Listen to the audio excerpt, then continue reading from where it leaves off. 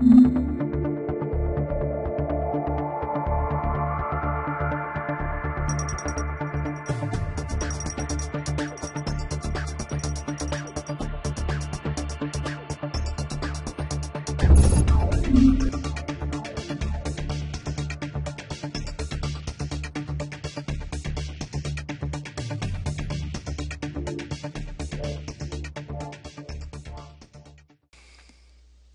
Hello there boys and girls, my name is Barry Kidd and today we're going to do a quick little Photoshop tutorial video where we're going to take and add window light and shadow from that window light in a photo that where it doesn't exist.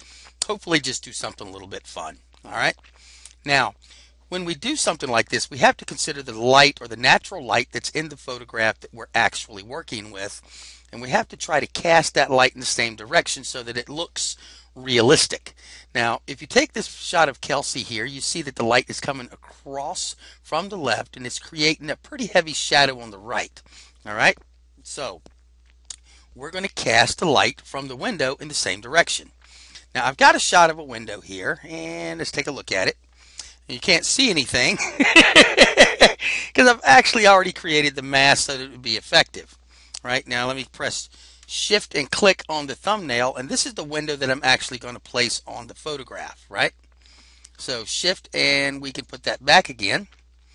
Now what I'm going to do is I'm going to drag this image over on top of this one but instead of dragging it from here I'm going to drag it from my layers panel over here so that we get the mask and everything with it right so let's go ahead and drop that back down and yeah and here's my image now really quick, I'm going to do the same thing I did before. I'm going to press shift and I'm going to hide that mask so that I can see my window. Now, one thing that we have to consider, whenever we place an image on top of another image, we generally want to use images that are comparable size or images that are going to work.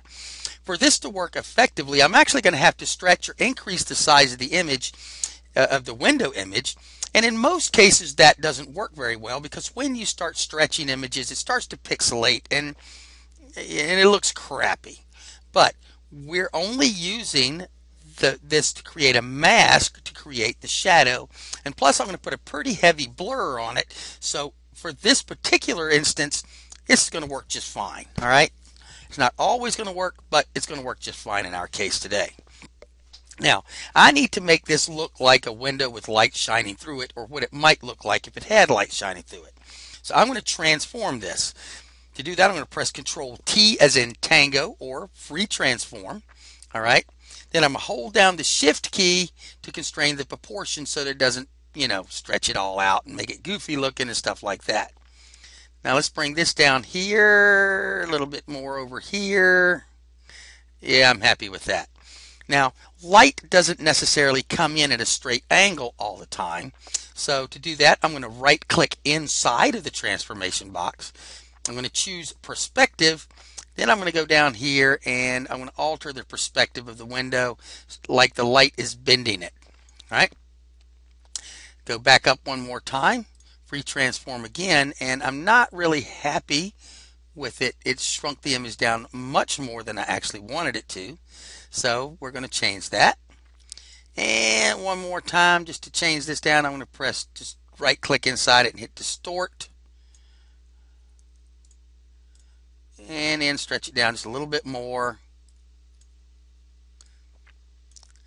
Now that looks like something that I'm going to be happy with. All right. And this is what the, the shadow and the light is going to look like on the image. Now that we have that, and you just play around. You, you just play around with it. You have to have vision. now that I've got my window set the way I want the shadow to pass through it, I'll press enter to apply that transformation and we're done with that. All right.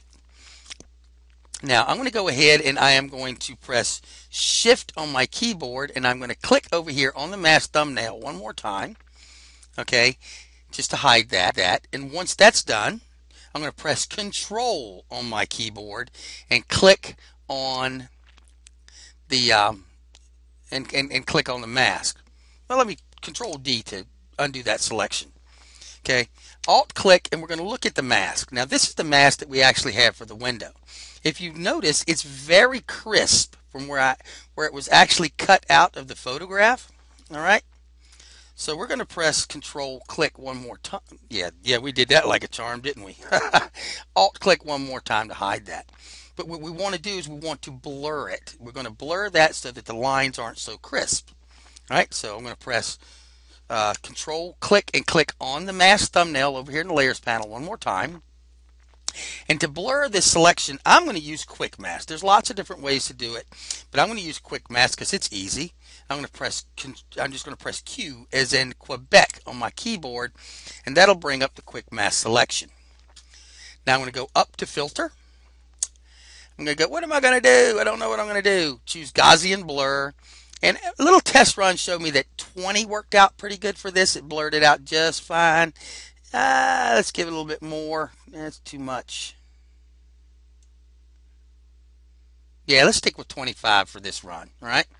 So I'm going to press um, OK to apply that Gaussian blur to this particular um, mask. And then I'm going to press Q as in quick mask one more time on my keyboard and that will transform this back to an active selection. All right. Now we're done with the photograph, so we can go ahead and we can hide it or we can even delete it, but I'm going to save it in case I screw up and need to come back. So right now we're just going to cut it off so that we don't actually see it. Now with the selection that we made and the and the selection and the what do you call it? The Gaussian blur we applied to the selection still active. I'm going to go down here to this little half moon thing at the bottom of the layers palette. You got a little light little dark side all right? I'm going to click that and that these are our adjustment layers. I'm going to choose a curves adjustment layer right? Now when we do that with the selection active you see that it automatically press alt it automatically takes the selection with the, with the blur that we added to it and it adds it to that layer mask or that that that that selection. But I'm going to go ahead and I'm going to click this here which is the curves layer itself. I'm going to start increasing the increasing the contrast or the brightness of it so that now we actually see the shadow that's being cast from the window onto our model. All right so we're almost done, but it doesn't look realistic because this light wouldn't be over here. She would be blocking that light, right? Okay, so we're going to go ahead and we're going to once again go over here to the mask. We're going to select the mask here in the layers panel. Uh, what else am I going to do? I don't know. I'm going to press B as in Bravo on my keyboard to bring up my brush tool. I'm going to press the right bracket key on my keyboard to make it pretty big. I'm painting white. I need to paint black. So we're going to X on my keyboard to switch my foreground color to black. And we're going to paint over top of all this over here because this wasn't this wouldn't be here. It just doesn't happen. A little, little bit smaller brush. Okay. Now if we look over here one more time, it's pretty bright down inside of her arm and it wouldn't be there because that light wouldn't be there. And we're going to paint that out. We're going to give her a little bit heavier shadow down in here.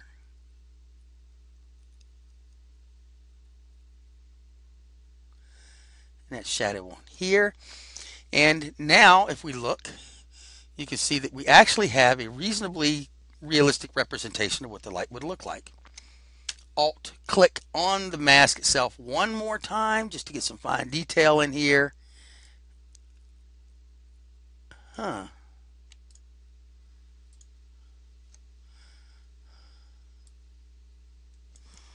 I'm not digging that. What's up?